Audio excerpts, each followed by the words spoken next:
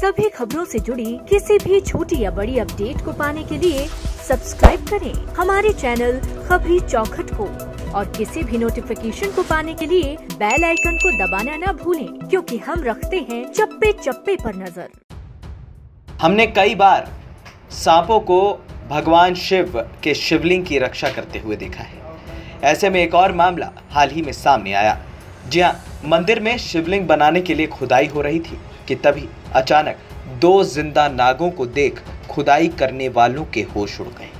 वो नाग बेहोशी की हालत में थे। फिर नीचे और खुदाई की तो अंदर पाँच शिवलिंग दबे हुए थे, जिन पर प्राकृतिक रूप से ओम की आकृति खुदी हुई थी। खुदाई में ईस्ट इंडिया कंपनी के 1616 ईस्वी के सिक्के भी निकले। ये हैरत अंगेज घटना पंजाब के लुधियाना में सामने आई है।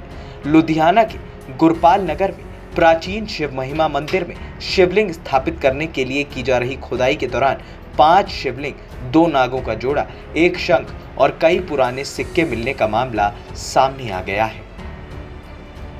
बताया जा रहा है कि शिवलिंग बनाने के लिए खुदाई की जा रही थी। धीरे धीरे ज़मीन की मिट्टी बाहर निकली जा रही थी, तभी खुदाई करने वाले चौंक गए।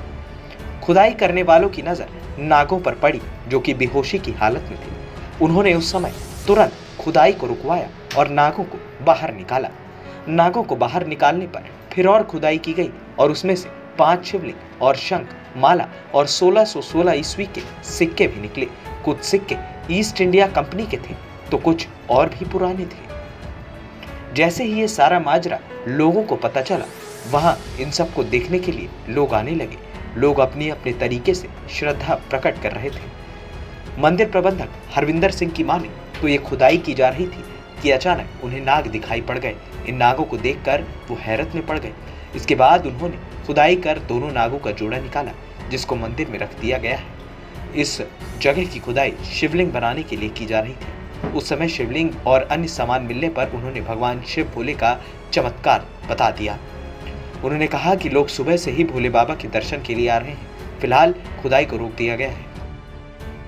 खबरी चौखट न्यूज़ रूम से। सुरजीत की रिपोर्ट।